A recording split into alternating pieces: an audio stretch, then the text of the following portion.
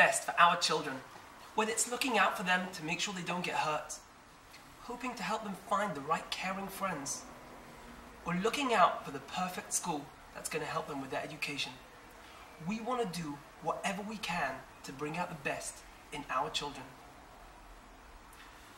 So, what is our role as parents? What are we supposed to do? Are we supposed to force them down the path of medical school? Are we supposed to sit on their heads till they've done their homework?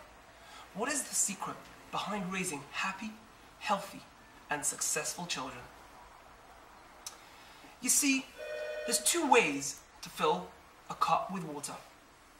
One way is to take the jug and pour it into the cup.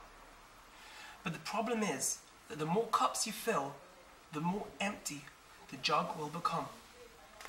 As parents, if we're constantly giving and emptying ourselves, we're going to end up running on zero, and there's no way that's going to work.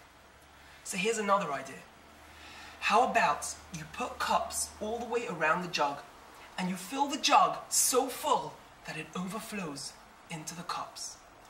That way, you can fill other cups whilst keeping the jug full and happy and healthy. This week, the parasha tells us that we have to tell the younger Kohanim about a value. The way the Torah does that is by telling the older Kohanim twice. It never says to actively tell the younger ones. It just says to tell the older ones twice. Because the Torah knows that the ideal way to communicate a message is by internalizing it oneself to a point where it will affect the youngsters. Our goal as parents is to raise our game. If we become people that our children look up to, they'll run to follow our example.